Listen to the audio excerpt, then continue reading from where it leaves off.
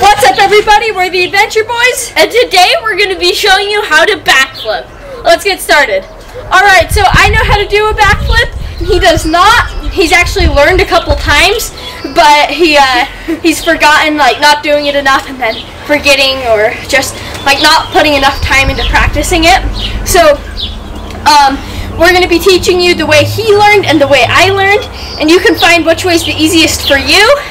And also, if you guys enjoyed this video, uh, make sure subs to subscribe because we're going to be making a lot of videos like this uh, here pretty soon. So without further ado, let's get started. Alright, so the way I learned is actually the way me and my older brother learned. Um, we both learned doing where a method where you do uh, is called a macaco um, or a macaco.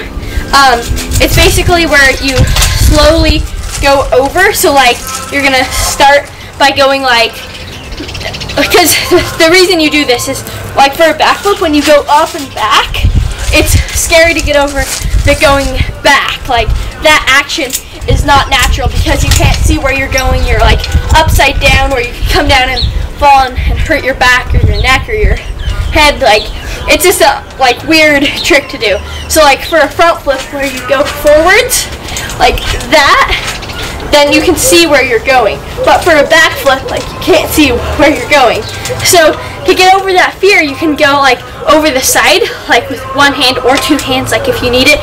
Like go like that, and just start off like it looks completely ridiculous and like just bizarre. But um, if you then you can do like one hand and just do like little like turnarounds. And then as you get more confident with turning around, you can start to go like more and more. You can do like 10 to 15 increments of like each turn. So like go over a little, little bit more each time. So like from here to here, here, like all, until you're going basically straight back, and that will help you get over the fear of doing the backflip. So like for example, you would like maybe do that much if that's what you're comfortable with, and then that much, or however fast you you need to you feel like it's right for you to keep moving at that speed. So like me and my brother actually had to uh, do like a lot of different increments like to work our way up to going more back. So once you work your way up to being able to go back a lot, it's basically this gonna look something like that where you use one arm to support you. It's kind of like a one arm back handspring. So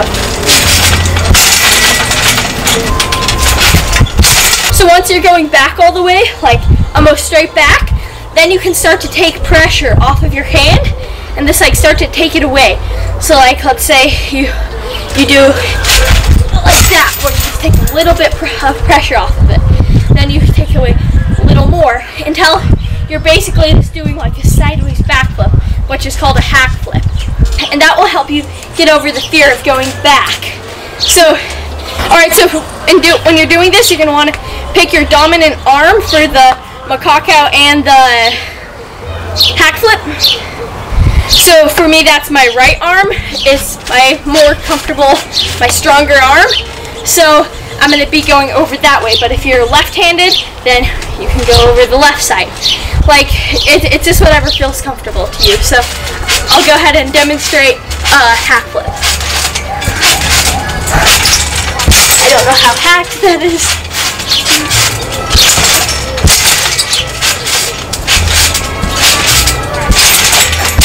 Alright, so the way I learned is actually with them spotting me. If you don't know what spotting is, it's basically where somebody helps rotate you around and it's there in case you start to like not make it around so if you're like upside down and you can't make it all the way because you didn't tug hard enough whatever the case is then somebody can spot you and pull you all the way back around onto your feet so you don't land on your head. You can look up on YouTube how to spot someone, or if you're the one trying to learn the backflip, you can have somebody you trust and trust to keep rotate you around to spot you. So basically what it is, you put one hand on the lower body and one hand on the upper body and rotate them around. You can use like a sheet and rotate them around. You can use, you can just do one hand, but uh, to start off, I recommend if somebody's spotting you, you have them spot you with both hands, just so if you start to not make it around, you can they can rotate you around, make so you don't land on your head. All right, so Um, he's like we said, he actually does not know how to do a backflip. Um, he gets ready to do it and then chickens out and then like doesn't want to go for it. When I'm there, he's fine with it, but when I'm not there, then he chickens out and gets gets scared. Feeling once you actually go over, it's like amazing feeling. Like if you only know things like front flip and going forwards, and because uh, like I put it off learning the back flip because it was a scary trick. So, um, but once you learn it, it's an amazing feeling. Um, and I've learned a lot of tricks since then. None of them give you the same feeling. All right, so here he goes. We're gonna, uh, he's gonna be giving it his first attempt, and I'm gonna be spotting him quite a bit. So it helps to coordinate it whoever's spotting you and you do a countdown and you know when you're both gonna go. So it's not like just whenever they go, then you try to keep up. So for the, here we go with the first attempt. Five, four, three, two, one. All right, so as you can see, he already knows from learning it before because he, like we said, he's forgotten and remembered over and over. Like probably forgotten five, like five times just because he doesn't cement it in his mind on how to do it.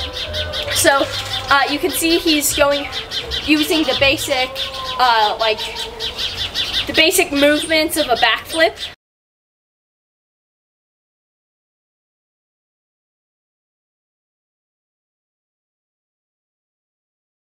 All right, attempt number two.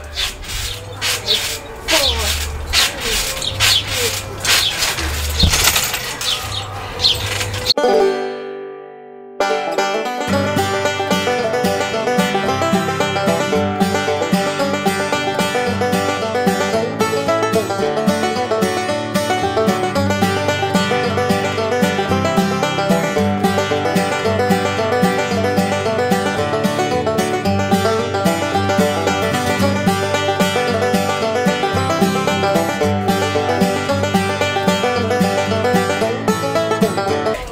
All right, so he's got the basic movements of it down pretty good now. So now he's gonna go ahead and try to do it without me spotting him. But I am gonna be giving him a little bit of a bounce just to make it easier. Um, and then I can also run in and grab him if he starts to fall. Okay, ready? Five, four, three, two, one.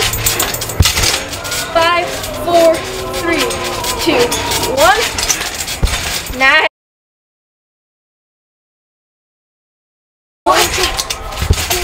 All right, so now I'm gonna completely get out of the way and let him go ahead and do it.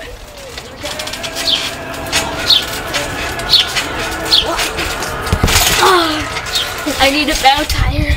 Yeah, jump a little higher.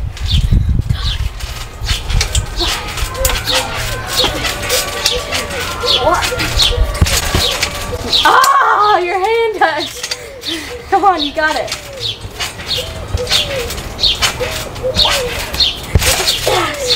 All right, so there was his first one after relearning the backflip. Um, now he can give you some tips if you want to call it that. All right, so the Macaco kind of, I can't like do that shoulder motion with putting your arms back. So I wanted to learn with a new method and he uh, spotted me with doing the backflip. So, and I had a really big fear of going back. So some of the things that I would do is just, it sounds retarded, but kind of do a backward summer, somersault. So kind of just go like, Like jump onto your back like you're gonna do a kaboom if you know what that is. yeah, so I'll let you show. I, I don't really know how to do a proper kaboom, but I can do somewhat of a kaboom. So yeah, like going like that and landing on your back and then just kind of like flipping. Yeah, because that gets you over the fear of going backwards, like over your head that way. Yeah, so doing that and like you can do it on a bed, kind of just roll back just to get over the fear of the. Also, if you have like a yoga ball or something, you can like put that in back of you and like lean back and like roll over it back, like go over it back backwards and like put your arms down. Um, there, there's a couple different ways, or a bunch of different ways you can get over the fear of going backwards.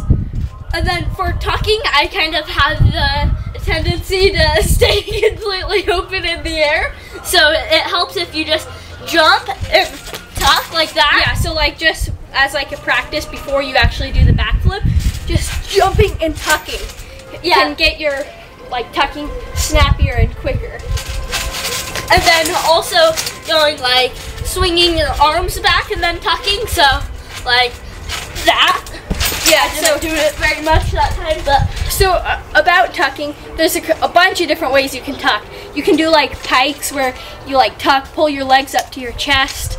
Um, you can tuck like that, like just pull your leg legs up like that in the air. You can pull your legs kind of like out to the side like that.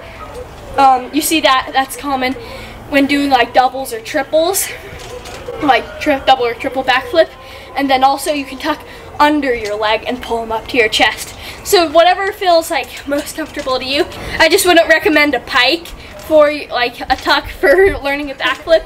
But out of these, th- like here, here, and here, you can really just pick what feels the easiest to tuck, the easiest to get up fast. and I just kind of use the same method as front flip, where you just like go like that, you know, and throw forward and grab. I just kind of use that same method, but obviously it's back. Yeah, so you're kind of like going up, grabbing on, and then going. So you can practice it by throwing your arms up, coming back, and bringing your legs up. So like this.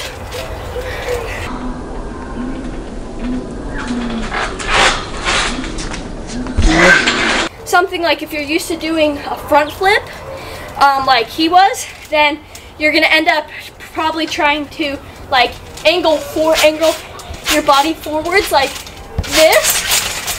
In reality, what you kind of want to do for learning it, not once you get better and are trying to do like consecutive backflips and stuff, but once you uh, or when when you're learning how to do a backflip, you kind of want to like launch yourself back. Alright, so if you guys enjoyed this video, make sure to give it a thumbs up, subscribe for more content like this. And if you have any special requests on tricks you want us to teach, leave them down in the comments below. And until next time, bye.